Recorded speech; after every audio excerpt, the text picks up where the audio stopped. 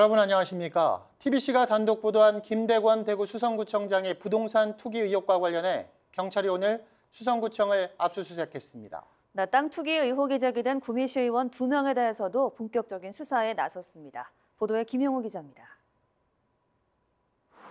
대구경찰청이 연호지구 투기 의혹과 관련해 수성구청을 압수수색했습니다.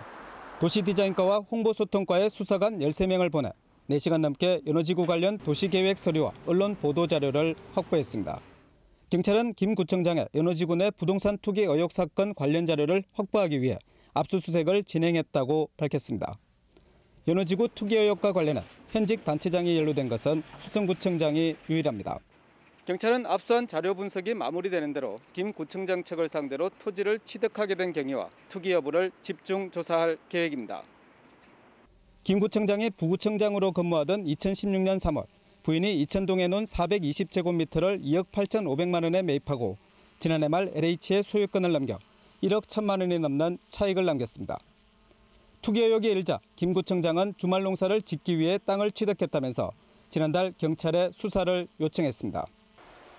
경북경찰청도 미공개 개발 정보를 이용해 부동산 투기 의혹을 받고 있는 구미시의원 2명의 사무실과 주거지를 압수수색해 부동산 매매 서류와 휴대전화를 확보했습니다. 이들은 낙동강 비산나루길 조성과 꽃동산 민간공원 사업과 관련한 사전 정보를 이용해 땅을 사들인 혐의를 받고 있습니다. 경찰에서는 압수물 분석을 신속하게 끝내고 관련 혐의에 대해서 엄정하게 수사를 진행하겠습니다. 연호지구를 비롯한 부동산 투기 의혹과 관련해 대구 경북에선 170여 명을 대상으로 수사나 내사가 진행 중이어서 파장은 계속될 전망입니다. TBC 김용호입니다.